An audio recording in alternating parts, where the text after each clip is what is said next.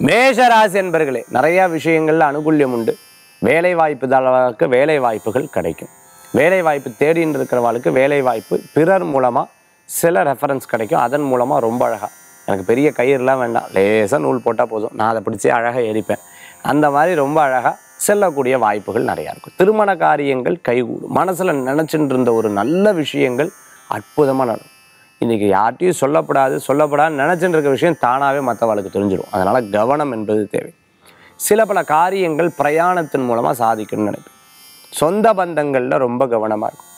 தாய் மாமாவுடைய ஆரோக்கியத்தில் அக்கறை என்பது தேவை. இன்றைய தினத்தில் மேஷ ராசி அன்பர்களுக்கு விடாமுயற்சி வெற்றியை தரக்கூடியதாக இருக்கும். இந்த தினத்துக்குண்டான அதிர்ஷ்டமான எண் ஆறு நிறம் வெண்மை.